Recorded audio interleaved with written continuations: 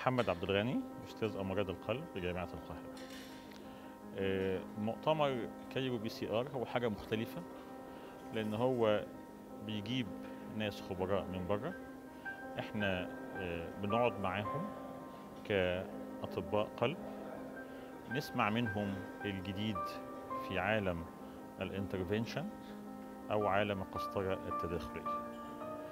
اللي كان النهارده واخد معظم الوقت هو ال bifurcation كان امبارح في session الجمعة والنهاردة كان في session تانية. ال bifurcation بيختلف من شهر لشهر. ال techniques بتختلف. آه، اتعلمنا منهم ال new approaches واتعلمنا كمان إيه هو الجديد و how to prepare ال patients و how to put plan أو استراتيجي قبل ما نشتغل. ومهم كمان بالنسبة لبلدنا نشوف إيه الإمكانيات اللي عندنا في ال cath lab قبل ما نحط plan إن إحنا نشتغل. مهم جدا في ال techniques إن إحنا نبقى trained على تكنيك محدد ونشتغله كويس. مش لازم نعرف كل التكنيك.